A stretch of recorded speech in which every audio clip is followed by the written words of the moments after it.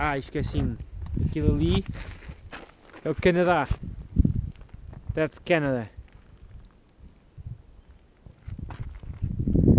Estivemos ali a ver baleias.